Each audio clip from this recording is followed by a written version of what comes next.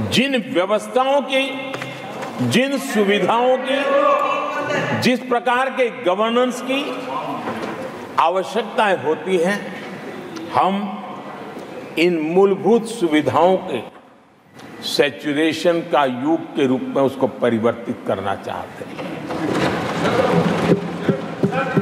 आदरणीय सभापति जी, आने वाले पाँच वर्ष गरीबों के खिलाफ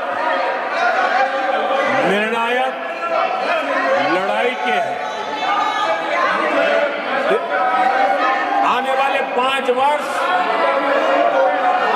गरीबी के खिलाफ, गरीबों की लड़ाई। और मैं मानता हूँ, गरीब जब गरीबी के खिलाफ लड़ाई के लिए एक सामर्थ्य के साथ खड़ा हो जाता है। तो गरीबों की गरीबी के खिलाफ की लड़ाई सफलता को प्राप्त करती है। और इसलिए आने वाले पाँच साल गरीबी के खिलाफ लड़ाई के निर्णायक वर्ष है और यह देश गरीबी के खिलाफ लड़ाई में विजयी होकर के रहेगा। ये पिछले दस साल के अनुभव के आधार पर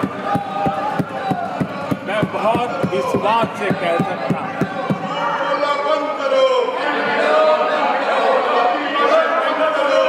आदरणीय सभापति जी, जब देश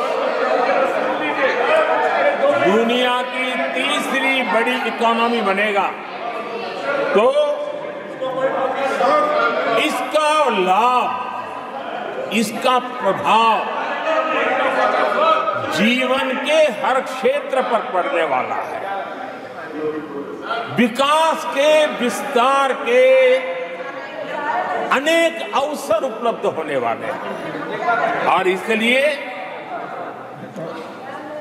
जब हम